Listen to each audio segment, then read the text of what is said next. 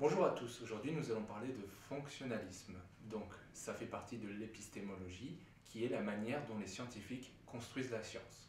Donc le fonctionnalisme, c'est un regroupement de scientifiques, surtout en sciences humaines, surtout en sociologie, qui se sont rassemblés pour penser des phénomènes de la même manière.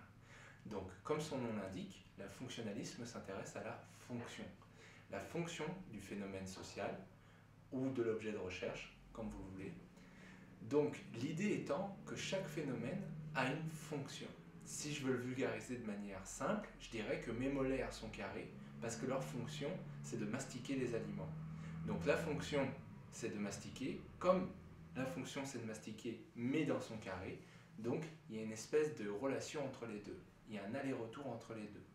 Le travail du scientifique qui est fonctionnaliste cherche à comprendre la relation entre les deux et cherche à expliquer avec une grande précision la fonction et l'effet de la fonction sur le groupe social. On comprend alors qu'il y a différentes fonctions par phénomène. Si on prend par exemple la linguistique, qui utilise aussi le fonctionnalisme, la linguistique a trois types de fonctions. La première, elle est pragmatique. La deuxième est sémantique. La troisième est syntaxique. Ça veut dire qu'un discours, une parole, a ces trois fonctions. Ça fonctionne aussi en sociologie. On peut prendre l'exemple du rituel. Le rituel a plusieurs fonctions. Il a la fonction de mobiliser les acteurs, il a la fonction d'intégrer les acteurs. C'est important à comprendre que c'est une manière de penser.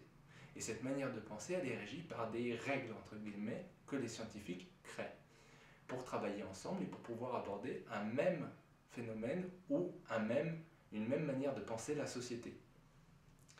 Ça, c'est une façon de penser. Il en existe une autre qui est par exemple structuraliste et qui pense la société par des structures. Donc on a le fonctionnalisme qui pense par des fonctions et le structuralisme qui passe par des structures. Donc toutes les informations que je vous donne là, vous les avez dans les livres de méthodologie, vous les avez aussi sur Internet. J'essaie juste un petit peu de simplifier et d'illustrer ce qui est déjà présent. Donc euh, je vous remercie d'avoir vu cette vidéo. Au revoir.